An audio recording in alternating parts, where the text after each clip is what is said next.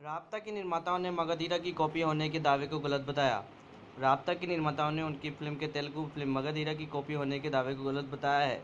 निर्माताओं ने कहा है कि यह बेहद अपमानजनक है। जब लोग ट्रेलर के आधार पर किसी फ़िल्म को कॉपी बताकर किसी के कठिन परिश्रम को बेकार कर दें, गौरतलब है, मगधीरा के निर्माताओं ने राब्ता की रिलीज़ रोकने की अपील की है।